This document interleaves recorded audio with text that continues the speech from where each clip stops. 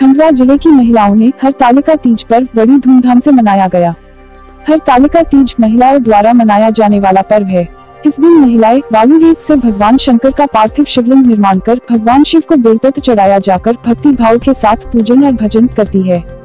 यह व्रत पति की लंबी उम्र के लिए, अपने बच्चों को स्वस्थ रखने के लिए और कुवारी कन्याएँ अच्छे वर की प्राप्ति के लिए यह व्रत करती है। इस दिन महिलाएँ बगैर कुछ खाए, पिए, उपवास रखती है। शाम को पति के चरण छूकर पानी पीती है तथा रात भर भजन, कीर्तन व जागरण करती है। सुबह बहरम मुहूर्त में बालू के शिवलिंग को कुएँ या नदियों में विसर्जित किया जाता है।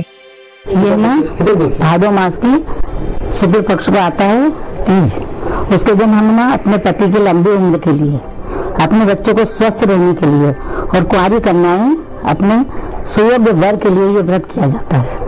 इस दिन हम रेत के शिवलिंग बनाते हैं और उनकी पूजा करते हैं, गणेश जी बिठाते हैं, पार्वती जी की स्थापना करते हैं और सभी परिवार सहित मिलकर धूप धूप नैवेद्य के साथ इसकी पूजा की जाती है। इसको हम हरतालिका व्रत कहते हैं। इस दिन महिलाएँ पूजा करती है और पूजा करने के बाद रात में हम जागरण करते हैं, भजन कीर्तन करते हैं, सब अपने अपने हिसाब से गाते बजाते हैं, नृत्य करते हैं